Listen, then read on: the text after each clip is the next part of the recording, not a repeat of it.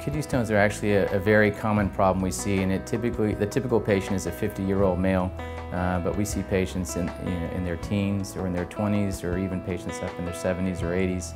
And as anybody who knows someone who's had a stone knows they can be extremely painful.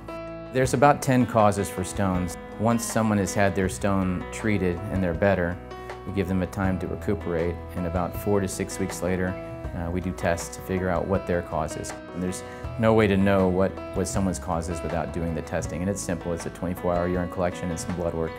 And from that, we can figure out why they're making stones and either alter their diet, put them on a medication, or tell them, tell them to avoid certain things.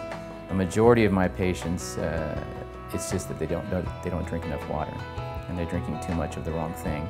But for some patients, they drink plenty of water and they have an excellent diet and they're still making stones, so we need to help them with medication. But 90% of stones are preventable.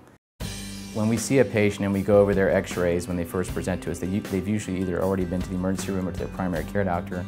They're usually in a lot of pain. Uh, so we review their x-rays, we talk about how big their stone is and tell them what are the odds that they're going to pass their stone. And if the odds are good, then we just support them with no surgery. We just support them with pain medication and we monitor them and kind of help them pass that stone. Um, most patients will ask, are these stones dissolvable or can I take some medicine to, to dissolve them? And 90% of stones are not dissolvable. Uh, they, they do require either that they be passed or they're broken up surgically.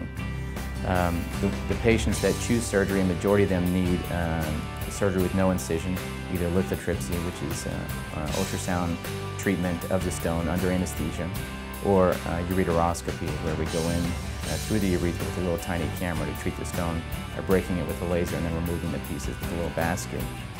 Both procedures are outpatient and under general anesthetic. Both of them take about an hour. So for a majority of these stones that, that uh, need the smaller procedures, the outpatient surgeries, most patients recover in 24 hours to, to four days. So a lot of my patients go back to work the next day after their treatment.